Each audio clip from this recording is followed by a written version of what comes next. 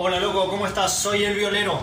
Quédate porque te voy a dejar los mejores tips y shades de guitarra que no vas a ver en ninguna otra clínica de rock de guitarra eléctrica.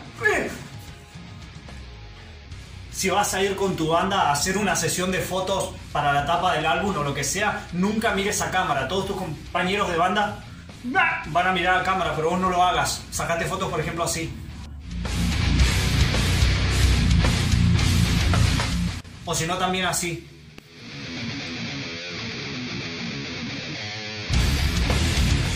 O si no, ahí. Ese sheite es muy usado para que te diferencies del resto. Todos los guitarristas lo usamos. Así que espero que lo puedas aplicar a tu técnica. Ahora, si vas a hacer las fotos para un disco solista, las fotos ya cambian. Ahora sí, mira a cámara y hacerlo de esta manera. Esta es una clásica. Hace esta ahí a lo Diego Misraji. Si quieres también puedes conseguir un taladro o alguna herramienta que te permita cortar tu guitarra acá y hacerle la agarradera a lo Steam Bay y la agarras así. Y si en el disco llegas a incluir alguna balada media romanticona, hace así y apoya levemente la frente sobre tu guitarra.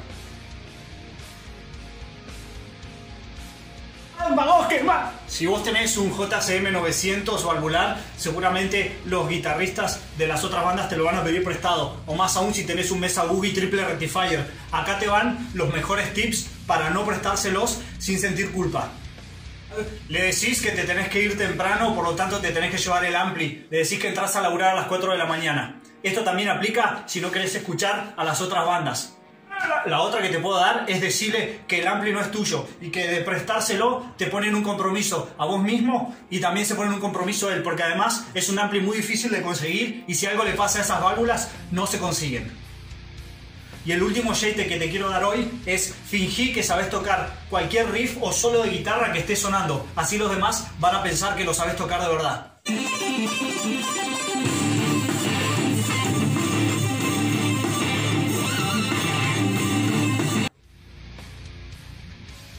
Este es el último shade y tips que te quiero tirar. Recordad, soy el violero, suscríbete a mi canal, así todos vamos a ir aprendiendo cosas. Recordad que son shades y tips que no vas a encontrar en ninguna otra clínica.